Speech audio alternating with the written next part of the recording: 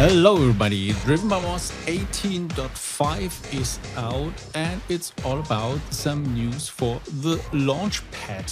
What I show here on the Launchpad Mark III applies to all supported Launchpads except one little feature, which is now that the click button here is lit if you press shift. So here you can toggle click and then if you press shift again, you see the state of the metronome. So then this button is lit in green. But all the other features I show now also work on the launchpads I support with DrivenByMoss. So the first thing to look into is that you have now more configuration options for the record button or with other launchpads without these buttons. You have that on shift the two record buttons, they also have these configuration options. So if you go now to settings, to the settings of the Launchpad Pro, there you see here with transport, you have two settings, one for the record button and one for the shifted record button, or in the shift mode for the other launch pads, it's the two buttons here below. So you have now many, many options. You can say you want to record in a Arranger in the clip. What is new here that you can combine it with enable the automation as well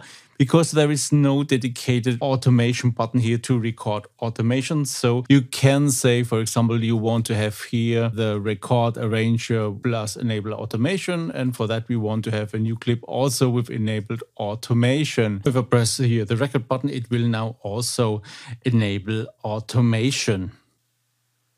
Same works in the clip. So if you press here new clip, it will also enable the automation writing. But the most interesting thing in this update is that you can now edit notes in sequences, which was so far not possible. If we go here into a sequencer, for example, the normal note sequencer, you can, as usually, enable a note. So maybe let's start playback on that. You can also change the length.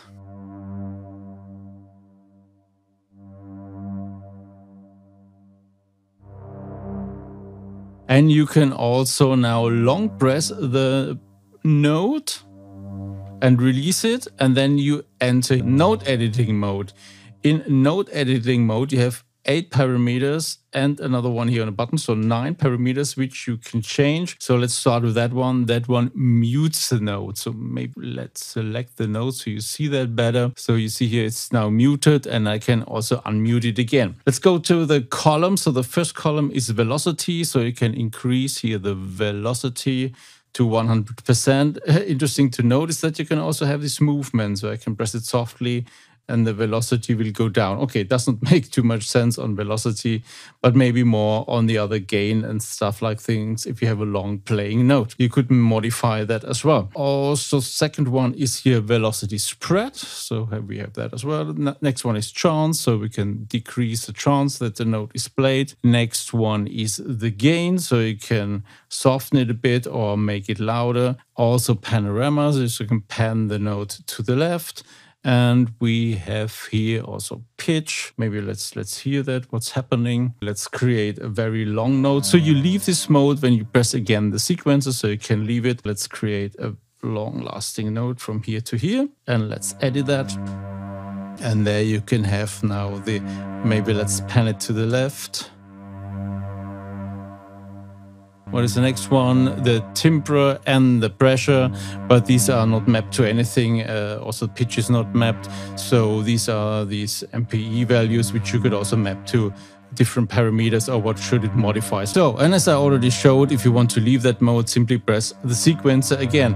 And this works for all sequences. For example, if we go here to the drum sequencer, you can create here, for example, a bass drum. Let's play back.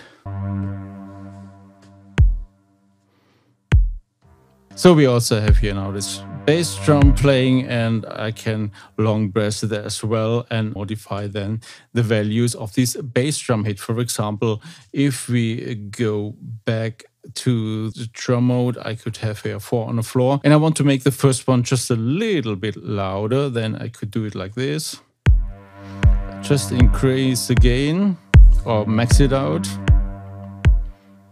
just for demonstration maybe not that much. Have it a little bit of accent here.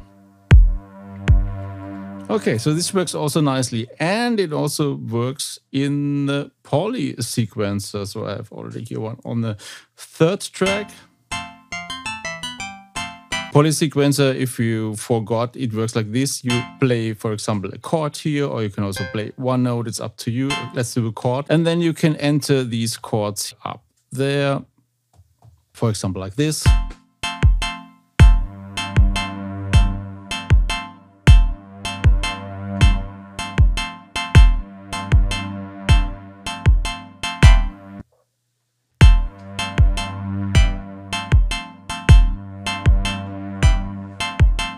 Funny enough. And here you can also long press it and there you have these parameters and they will now work on all the different notes of that step. So if we go here, I think I selected that one. And if you here decrease the velocity, it will decrease for all the notes of that step and this works also for the other parameters. And again, just click here on sequencer to leave that mode. Then there is also this feature that you can do note repeats in the sequences by using the up and down cursor keys in combination with a pad. And this is now also working here in the poly sequencer. So for example, if we Maybe let's do it with that because that one is a little bit longer. And then you press here the up button and then press it several times. You will see now we have two repeats. Maybe let's go with four.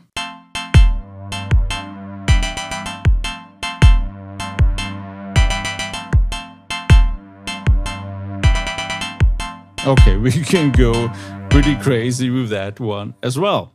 Maybe let's first go to the drum and add maybe some more sounds to it.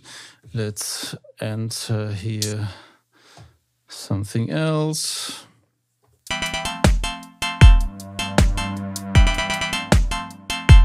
This will be the next hit. I feel it coming.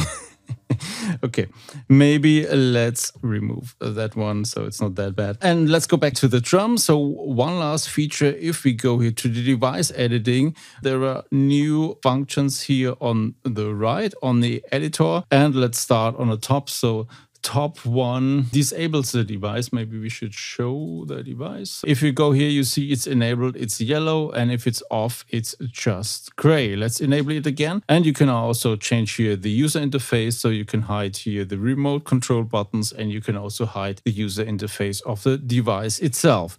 That one toggles the window, but the drum device does not have a window. Maybe let's go to that one and let's go here. Yeah, Badzilla opens the window and you close it back to drum. The bottom one pins the device and not only the device, it also pins the track because pinning only the device does not make too much sense if the track is not also pinned or it will just jump away if you switch the track. You can see that if we open up here that one. So if you see I press the button, you will see both get pinned. So the track and the plugin gets pinned. This will work now like this. So if I go now, for example, here, click on Badzilla or click here, it will still stick on the drum device. This makes especially sense if you have multiple controllers. You can now control your drum device, especially with that one.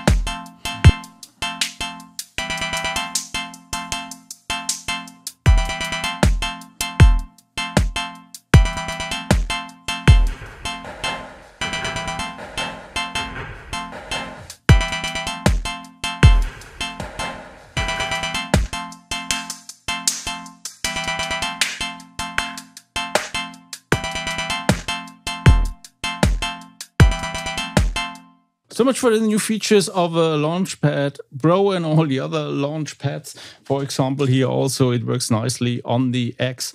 And yeah, I hope you like it, dig it, and make some funky music.